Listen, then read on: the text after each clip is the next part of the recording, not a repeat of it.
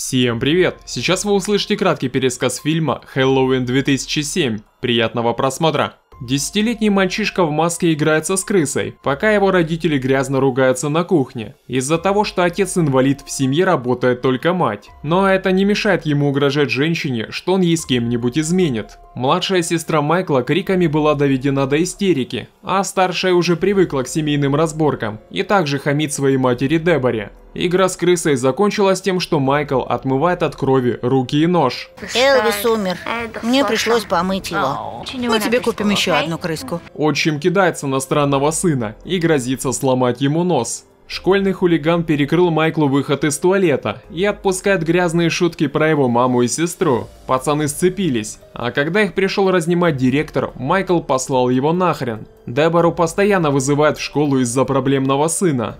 Кабинет также вошел детский психиатр мистер Лумис. Он интересуется, не было ли у Майкла в жизни серьезных потрясений. Дело в том, что у него в рюкзаке нашли мертвую кошку, а еще множество фотографий с другими замученными животными. Это первый звонок о том, что разум ребенка болен. Майкл сбежал из школы, прихватив с собой любимую маску клоуна. Он уже следит за своим обидчиком, который пошел домой через лес. Майкл напал на хулигана, ударив его несколько раз здоровой палкой по ногам. Потом он прошелся по всему телу парня. Хулиган умолял пощадить его, но юный маньяк закончил дело, размозжив ему голову. Дома коллега издевается над сыном и его особенной любовью к животным. Несмотря ни на что, мать-пофигистка разрешила Майклу пойти собрать конфет на Хэллоуин. С ним должна была пойти и сестра, но у нее дела с ее потлатым парнем. Ну а мама отправилась на работу в стрип-бар.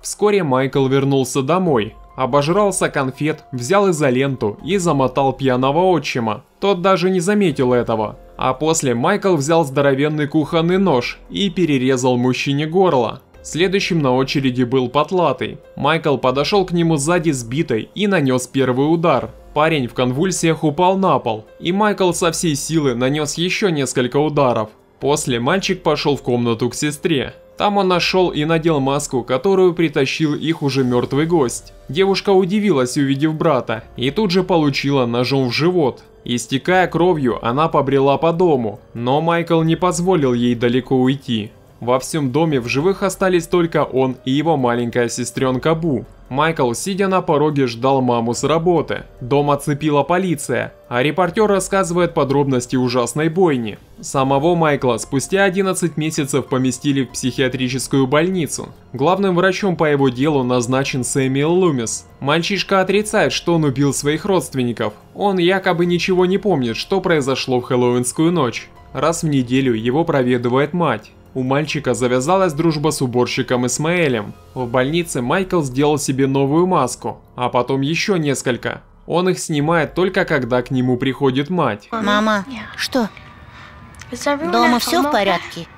Дома все в порядке. За ними он прячется сам от себя. Поведение Майкла становится все более странным и диким. Он хочет вернуться домой и отрицает, что сделал что-то плохое. Лумис договорился, чтобы ему позволили выходить на улицу. Майкл уже даже при матери отказывается снимать с себя маску. А через какое-то время и вовсе перестал разговаривать с ней и врачом. Мать оставила ему фотографию с ним и сестрой. Медсестра подсела и без спросу взяла фото в руки. Зря она осталась сидеть рядом с маленьким пациентом. Майкл схватил вилку и несколько раз воткнул ее женщине в горло. Так он добавил еще одно имя в список своих жертв. Дебора плачет и смотрит старые записи с Майклом, когда казалось, что у нее растет самый обычный сын, а после взяла пистолет и выстрелила себе в голову. С тех пор прошло 15 лет. Через три месяца Исмаэль уходит на пенсию. За это время ему нужно обучить нового сотрудника. Они вошли в камеру Майкла. Все стены и потолок увешаны огромным количеством самодельных масок. И лучше их не трогать. Громиле это не нравится.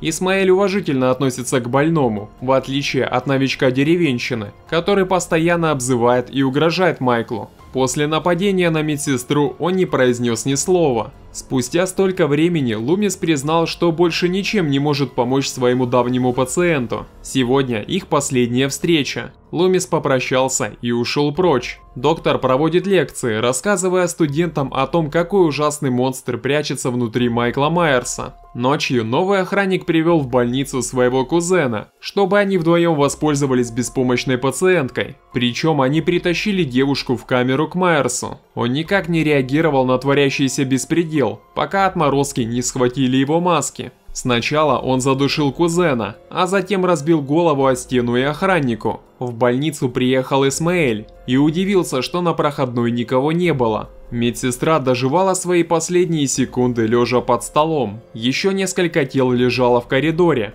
Исмаэль всегда считал Майкла своим другом. Он просит Громилу не делать глупостей и пройти с ним в палату. Но психу плевать, что мужчина все эти годы хорошо с ним обращался, и избив начал топить Исмаэля в раковине. А добил он его, кинув на голову телевизор. Той же ночью о случившемся сообщили Лумису. Здоровенный дальнобойщик по кличке Гризли остановился на заправке, чтобы зависнуть в туалете. К нему постучался какой-то тип в грязных тапочках. На просьбы отвалить он никак не реагирует, поэтому Гризли достал нож. Но воспользоваться он им не успел. Майкл напал на дальнобойщика первым и начал методично бить его о кабинку, пока не перехватил нож и не воткнул его бедолаге в живот. Вот так Майкл раздобыл себе одежду по размеру. Наступило 31 октября. Лори Строуд, поговорив с родителями, отправилась в школу. По вечерам она подрабатывает сиделкой у соседского мальчишки Томми. Майкл добрался до своего дома, где нашел кухонный нож и старую маску, в которой совершил свое первое массовое убийство.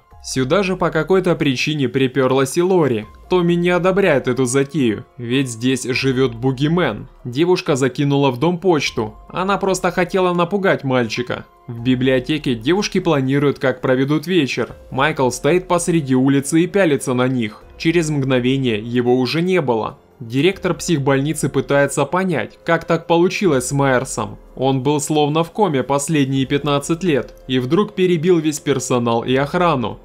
Безумец тот, кто верит, что волка можно приручить. Лумис уверен, что Майкл отправился в родной городок, несмотря на то, что он находится в сотнях миль от больницы. Три подружки шли домой после школы и веселились, пока не увидели перед собой зловещий силуэт. Подруги Лори обматерили его, и незнакомец скрылся. Отец Энни работает шерифом. Когда Лори осталась одна, ей стало не по себе. Девушка подозревает, что странный тип продолжает наблюдать за ней. Мать возилась с пластиковым скелетом, чтобы украсить двор к Хэллоуину. Так маньяк узнал, где живет Лори. Смотритель кладбища привел доктора Лумиса к могиле матери Майкла, и там они обнаружили распятого койота, еще и надгробие кто-то спер. Подружка Лори Линда и ее парень собираются провести ночь в старом доме семейки Майерсов. Они здесь частенько устраивали вечеринки. Линда потребовала принести еще пиво, и Бобби отправился к машине взять пару баночек. На обратном пути Бобби натянул на голову простыню, чтобы испугать свою девушку. Но Майкл затащил его в комнату, поднял одной рукой за шею и пригвоздил ножом к стене.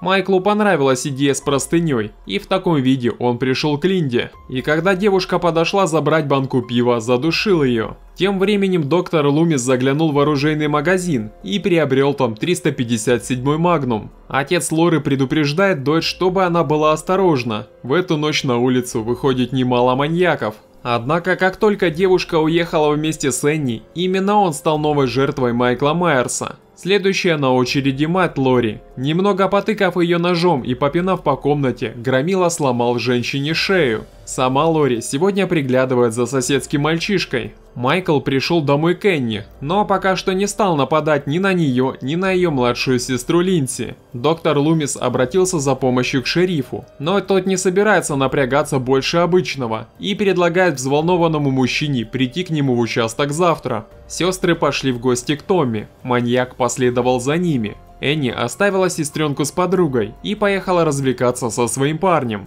Шериф не верит доктору, потому что считает, что он шарлатан и просто зарабатывает на трагедии, которая произошла здесь 17 лет назад. Лумис утверждает, что маньяк вернулся за своей сестрой. Шериф позвонил приемным родителям Лори, но ему никто не ответил. Полисмен понял, что поработать все-таки придется. А тем временем Майкл покромсал Энни и ее парня. Шериф вспоминает, как после того, как мать Майерса вышибла себе мозги, он отвез маленькую Бу в другой город и подбросил в ближайшую клинику. Ее удочерили, и казалось на этом история закончилась. Пришло время отводить Линси домой, но на месте она обнаружила израненную Энни и ее подвешенного парня. Лори позвонила в полицию, и шериф понял, что это работа Майкла Майерса. Маньяк начал преследовать свою сестру, которая прибежала обратно к Томми. Вместе с детьми она спряталась в ванной.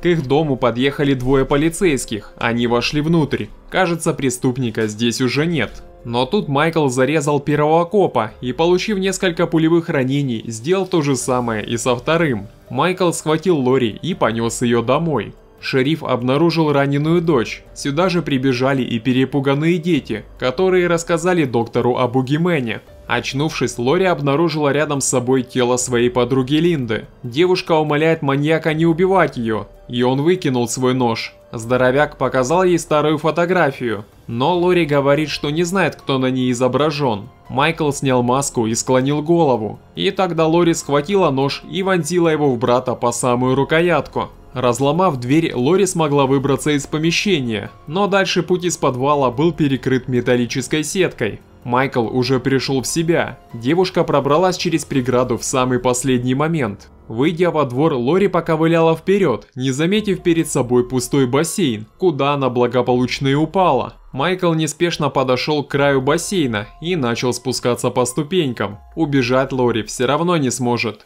Но тут его окликнул доктор Лумис. Он попросил Майкла остановиться, а после выпустил ему в спину три пули. Громила рухнул, и доктор спустился вниз, чтобы помочь девушке выбраться. Казалось, все ужасы этой ночи уже закончились. Лумис посадил Лори в полицейскую машину, но оживший Майкл выбил стекло и выволок сестру наружу. Он снова ее куда-то потащил. Доктор попросил оставить девушку в покое, мол, это он во всем виноват, а не она. Великан так и сделал. Он схватил Лумиса за голову и сдавил ее со всей силы. Разобравшись с еще одним давним другом, Майкл снова отправился на поиски сестры, которая спряталась в доме. Он бродит по комнатам и прислушивается к каждому шороху, пока не догадался, где скрывалась Лори. Но девушка успела перебежать в другое место. Она увидела рядом с телом Лумиса пистолет и подобрала его. Из последних сил доктор схватил ногу Майкла, но он его стряхнул с себя, будто не заметив. Лори спряталась на чердаке. Снизу Майкл начал крушить потолок палкой. В итоге девушка, пытаясь уползти, свалилась вниз и разбила себе лицо о пол. Майкл накинулся на нее, и они вдвоем упали со второго этажа. Лори оказалась сверху, и в тот момент, когда он схватил ее за запястье, выстрелила своему брату в голову в упор.